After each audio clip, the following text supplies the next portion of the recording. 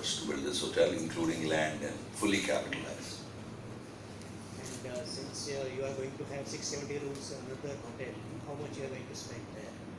About 800 crores. So this is what you raised from the IPO, I believe. No, IPO was secondary sale. A lot of this is internal accruals and uh, the rest is debt. So uh, Lemon Tree now is still relatively conservatively leveraged. Our peak debt to equity will be under one.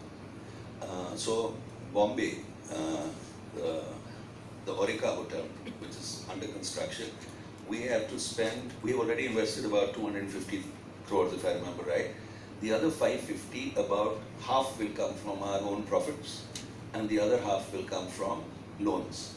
So our peak loan will probably go to 13, 1350 crores uh, uh, from 1000 today. So for making your target of eight thousand eight hundred plus by twenty-one, are you going to have any IPO plans going forward? I'm sorry, Any primary or secondary offer? No. it is fully funded. So 8,800 rooms are fully funded and the numbers I gave you, which is peak debt, will be 1300 crores is exactly where we are. Thank you and all the best. Thank you. Mr. Keswani, you just mentioned my Tata background. What is it? So, so a lot of people ask me this, so I must tell you. I, I, did my engineering and MBA from IIT IIM, then I joined the Tata Administrative Service. And I worked with some wonderful people. I st- still absolutely love the Tata. So I was, for example, I worked, I'm much older than all of you, so I worked with uh, Rusi Modi. I was his EA. I worked in Tata Tea. I worked with uh, uh, Tata Steel, as I said. And my last 10 years were with the Taj Hotel. So my last job there was, I was the chief operating officer of uh, Indian Hotels.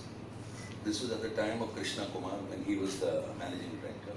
And then I left and joined A.T. Kearney, which was an American consulting firm as their partner in India. Worked there for two, three years. Then I decided to retire by building a hotel. But that hotel did very well. And so I built a second hotel and a third and a fourth, and then Warburg Pincus invested with us in 2006. Uh, I was lucky actually that I had a great team of people, all of who are still with Lemon Tree. Uh, and we built this company together. And uh, we raised capital in 2006, then in 2007, then 2012. All told, we raised about $400 million of capital. Uh, created two companies. There is a subsidiary of Lemon Tree which owns hotels, but we earn the fees as Lemon Tree. And then I took Lemon Tree public last year.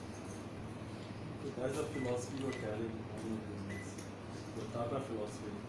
Yeah, I believe in three or four things. So I think one of the big issues, and that was my parents too, who were uh, government officers. My mother was in fact a doctor in the army. So the, the philosophy was very simple that in India, and I, I genuinely believe it, we shouldn't depend on the government to provide all services. And it is time that the private sector uh, should take roles for stuff besides just doing business.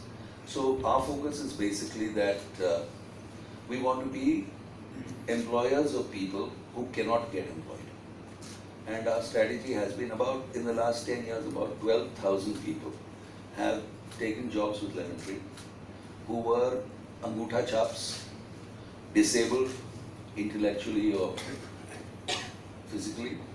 They worked with us, left us in a year or two, and I'm very happy to tell you that typically us at double the salary.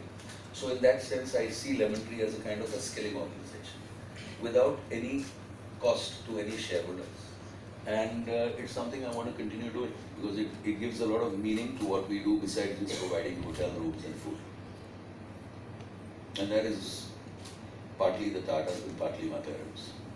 Great job to the society. and Well, we get every alternate year, the President of India gives us the national award for uh, best employer, people with disability. The Prime Minister of Singapore has given us the Asian Human Capital Award. The Financial Times London has given us the Global Award for Sustainability. Cornell University has called us the exemplar of uh, sustainability in hospitality. So it's something we are, uh, actually we don't do it for all this. We don't normally announce it. Aradhana oversees it, so she put it here as a slide and I had to be her spokesperson, which I am. Uh, but we are very happy about doing two things, which is number one, we should be ecologically most sustainable. So every single hotel of Lemon Tree is built to gold LEED standards, which is leadership in energy efficiency and design. Uh, so environmentally, we are very, very, very conscious. And the other is that we want a very diverse uh, workforce. And uh, as I told you, over a thousand people in Lemon Tree today are people who would never ever get jobs. Because it's a people industry, you see, you are inside this industry, it is run by the people, there is no mercenary involved in this business. So I think some philosophy uh, should Yeah. work on this. Absolutely. You see, what we st- when we started it, it was just we wanted to do something. But the amazing thing is, initially our employees resisted it. They said, "यार ये इसके पास कोई idea आ गया, and now he'll get some people who will not do their job." But the reality is, let me tell you, people who are speech and hearing impaired, people with autism, people with Down syndrome, okay, uh, people who are uh, orthopedically impaired, it is not a disability. You have to find a job for them where whatever they have is irrelevant. And we've done that very successfully. We are a, you know, uh, so many companies come to us for help in doing this, and Aradhana leads multiple efforts. So I was very pleased that even the Oberoi group has, you know, after I spoke to Mr. Oberoi, they've actually taken people with disability. And the most interesting thing is our customers, I think Indians, see so much misery. We get, you know, we feel helpless. But when a company starts doing something about it, the customer loves it. So you'll be amazed, I get maybe a hundred emails a day based on customer feedback, right? Over two million Indians stay with us every year. Uh, and uh, what I'm amazed to see is how much the Indian customer loves what we do. So what began as actually, you know, giving back to society has actually become a very strong element of our brand. We launched our loyalty program. Uh, I don't know how many of you know this, but if you speak to any e-commerce company, uh, they will tell you, and I speak to many of them, that the total number of consumers of e-commerce in India are only about 100 million. See, a lot of people shop on the net, but they don't buy. So there are, that's about 15, 17 million families, maybe 20 million families. We launched our loyalty program. In three years, we have over 1 million members. We are adding about 35,000 a month. Just to give you a number, the Jet Privilege program, which has 7 million members after 25 years, was valued at $70 per member. And we have already a million members. So this is our future. We want to focus going more and more asset light. We don't want assets on our balance sheet, so we are going to find partners who buy these assets from us, unlock capital, and just focus on brand management and development. And we are well on the, our way there. The artwork that uh, that we saw, I mean, especially in the corridors outside the rooms, very catchy. Could you tell us more about that? Is it the same in all the lemon tree hotels, and who's done it? Okay, so to understand art, we wanted art also to be socially, we wanted to be socially conscious in art. So about 10 years ago, when we were still a small company, uh, I remember I had a conversation with the uh, IS officer who was in that, uh, in the tribal affairs department. And I discovered a very funny thing, which is that there is a district called Bastar. Bastar has only 1 million people, about. It's a large district, very Maoist. And in that, there are a lot of tribals. Tribals are of two types. They are Bronze Age, which means they are like people, how they lived 3000 years ago. They live, they are hunter gatherers of forests, which is why when forests disappear, these people become Maoists in fact. But about 30,000 families in Bastar make an amazing art. It's called bell metal art. It's bronze, bronze age art, which means it's made literally with bronze and they are very tall, thin figures. So we decided in Lemon Tree that we will start popularizing it. And I discovered after four years we became India's largest buyers of Bastar art. So every hotel of ours, and you may not have noticed this, has Bastar art. And every time we buy one piece, one family has livelihood for three months. So I believe about 2,000 tribals now live off what we do by buying this art. So that's one. Number two is for art, we go to the new Baroda school, the new Calcutta school, and we go and basically look at artists who are under the age of 30 who are struggling. And typically, I'd buy 30, 40 of their paintings. So a lot of our paintings are very modern Indian art. We have a very large collection of that.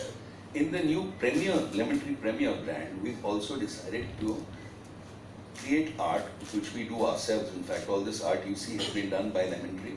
We take photographs of uh, of landmarks of the city where we are putting up the hotel, and then we have them printed on canvas in large uh, large formats. So this is amusingly enough done. The photographer is our head of housekeeping, our vice president housekeeping, a lady called Selina Kochar, who's highly talented, and she goes and takes photographs, and then we create pictures them. So we have fun, great fun making art by the way. One question, your presence in eastern part of the country is not all. Is any geographical reason or? So I think, uh, you know, we are a company where we don't have external sources of capital. So we are not part of a larger group which can raise capital for growth. So typically, Lemon Tree goes where we are sure that there is demand and we have a sustainable business model. That means we make money, in short. So we deliberately didn't go to the eastern side uh, because we were not sure about the political climate and, you know, there was a lot of uncertainty. But uh, now we have built a very, very pretty hotel in Calcutta, which is very similar to this one.